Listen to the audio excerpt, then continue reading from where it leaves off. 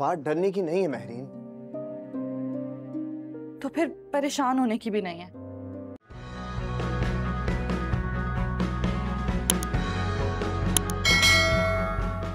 क्या मतलब? अब इसमें ना समझने वाली कौन सी बात है? कल रात जो कुछ हुआ उसके बाद कोई गुंजाइश बाकी नहीं है साथ मिलकर चलने की। और ये हमने नहीं कहा ये असद भाई ने बात की है। बात तो तुम्हारी बिल्कुल ठीक है लेकिन फिर भी इतना आसान नहीं है महरीन मुझे तो हैरत हो रही है असद भाई पे पता नहीं क्या हो गया इतने सेल्फिश तो वो कभी भी नहीं थे। आपने उनकी सास साहिबा को नहीं देखा था?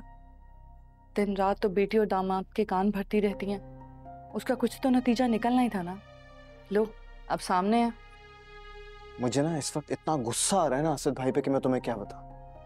मतलब इतनी बेईमानी से अलग से अपना हिस्सा ले रहे थे दिमाग खराब हो गया उनका। और ऊपर से वो फोजिया आंटी पुलिस को कॉल करी थी। बहुत ही कोई घटिया हरकत की है उन्होंने। अब देखते हैं ऑफ़िस जाकर क्या होता है। हमने कुछ गलत नहीं किया। हमें डरने की कोई ज़रूरत नहीं है। और इस बंटवारे की बात हमने नहीं असद भाई ने की है।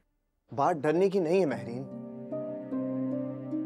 तो फिर परेशान होने की भी नहीं है।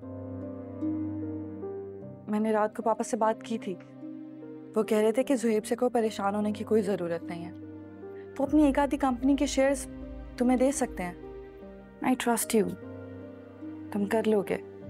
और फिर यहाँ भी तो तुम्हारे शेयर्स तुम्हें मिलेंगे ही ना। चलो देखते हैं फिर क्या होता है। जो भी होगा बहरहाल डैड की मर्ज़ी से ही होगा।